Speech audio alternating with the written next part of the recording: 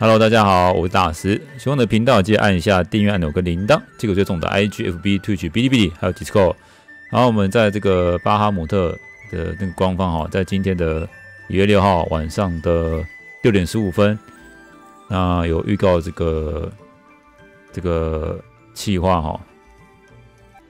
好，那这是巴哈这边的消息，是因为前天大师已经有上传一部影片哈，就是这个古琴嘛，就暗示就是。那个小倩，然后就是这个，然后被这个书生的哈，就是宁采臣没有错。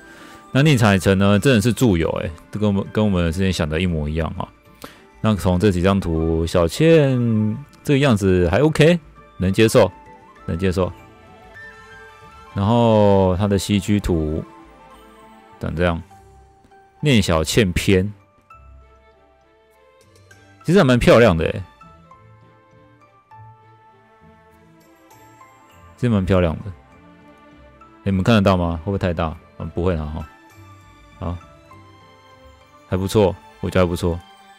可是我一直很不想抽宁采臣，你知道吗？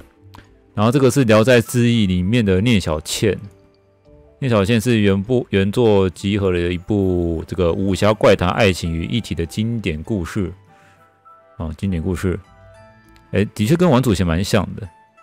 然后可是。张国荣这个，我记得那个谁，宁采臣是张国荣演的嘛？好像有一点像哦，好像有一点像。然后这边有讲说，某种层面啊，跟天地劫原著的核心表达如出一辙。然后天地劫中的寒武杀叶明龙跟天地劫幽神幻境录的冰离幻境龙妖，都是个非肉体凡身。然后野兰桃情之一致哈，夏侯乙与冰离跨越千年万年的爱情哈，殷建平和风寒月之间诉不完的缠绵。情字贯穿的天地劫始终哈，好长这样，好再来。官方是说聂小倩在基础之上呢，为了给这个故事赋予全新的色彩啊，在人物设定上保留着原著的形象哈。原著形象是指原版的那个吗？哎，是蛮像王祖王祖贤的，对不对？然后。宁采臣是有像张国荣吗？你们知道张国荣是谁吗？王祖小倩蛮像王王祖贤的，没有错，是有一点神韵。可是这个好像有哎，是不是有？有点像张国荣，有吗？好像有哈，好像有。那燕赤霞应该。蛮像的，对不对？你看，哇，帅，哇，帅，这就是我要的燕赤霞。你看好帅哦！哎，我还以为是火系的，他原来是雷用雷系的，还不错，还不错。哎，对，学友版本，哎，帅，哎，真的帅。看好潮哦！像学友哥吧，这是应该学友吧？学友这个好像不太像哦。眼镜放电呢？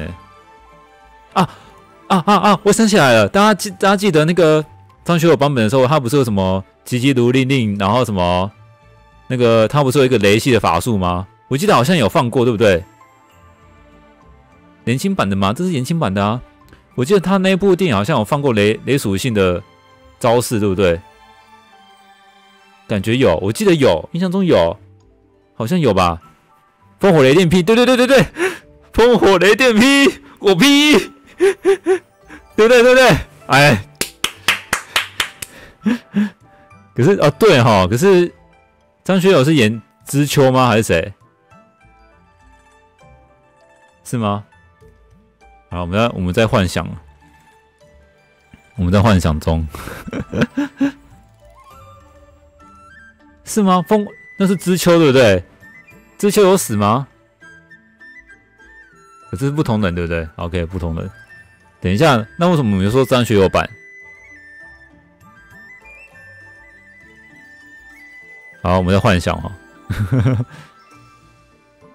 哦，人间道演知秋。哦，那我们还跟我说是像学友版本的。我们一直把它当成知秋，就是燕赤霞。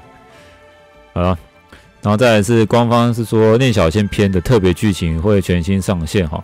哦，然后韩乌沙跟龙妖也会在里面出现哈。然后哇，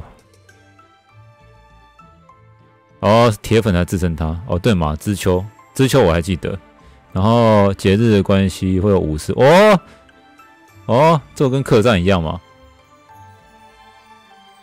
好，哎，就这样没了，哎，没了，好吧。然后可以听到武士的快乐，所以看起来应该就是二月六号之后吗？可我记得知秋不是有去他们去救他吗？哎，我其实如果燕赤霞是送的，我很开心哎。好了，那我们这个这个剧情介绍不是这个联动的剧情，应该是《聊斋志异》聂小千篇联动吧？应该是这样啊。然后希望大家可以期待一下这次的这个版本哈，陆府的版本，燕赤霞大哥。好了，那喜欢我们频道，记得按下订阅按钮跟铃铛，就这种 IG、FB、Twitch、哔哩哔哩，还有 Discord。